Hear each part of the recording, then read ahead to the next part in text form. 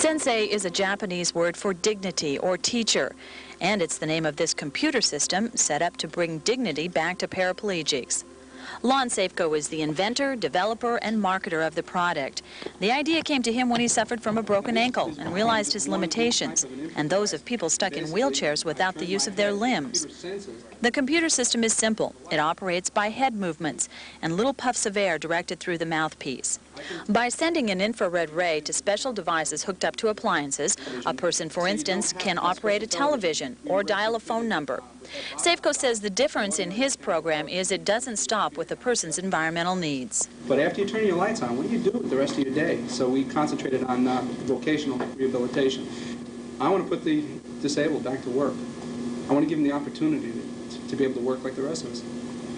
He finished a program which, which he claims is in infallible part of August. Right now, he has one installed at Yakima Hospital and expects as many as 75 units to be in place by the end of September.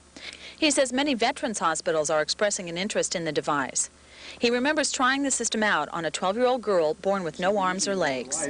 And uh, she turned the light on. She just puffed on it, made the light come on. She almost jumped out of the chair.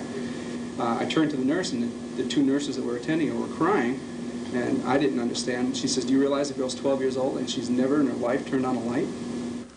Safko is selling the system for about $8,000 right now. He says he is more concerned with emotional rewards than financial. In Richland, Shelley Swanky, KVEW News. In Richland, Shelley Swanky, KAPP 35 News. In like turning on a light answering the phone, or turning the pages of a book. That's what happens to many accident victims who wind up paralyzed for life or who temporarily are unable to function. But there's a local man who's trying to make things a little easier for the disabled. News Center Shelley Wennermark tells us about the man Westinghouse is named Entrepreneur of the Year. Disabled, back to work. I want to give him the opportunity to, to be able to work like the rest of us. Meet Lon Safko and his product, Sensei. Sensei is a computer system that allows the disabled to control their environment, communicate with the rest of the world, and even re-enter the workforce. Most computers require the operator to use a keyboard, but not this one. It's all controlled by puffs of air.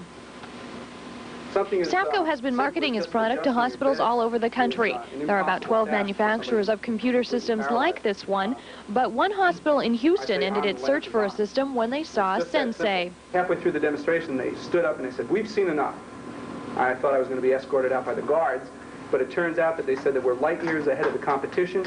More than half of the systems that were demonstrated didn't work, um, and most everybody is concentrating strictly on environmental control, turn on the lights. Well, Sure, that's the magic part, and that was definitely one of the toughest. But after you turn your lights on, what do you do with the rest of your day? So we concentrated on um, vocational rehabilitation. So all ages can utilize a system that costs about $8,000 for all the hardware and the software, which for a computer system this extensive is really a good deal. In Richland, Shelley Wintermark, News Center 25. Now, if you'd like more information there on Sensei, you can reach the business at 375 3268 there, and you can ask for extension 4628, and they'll put you in touch with the people you'd like to talk to.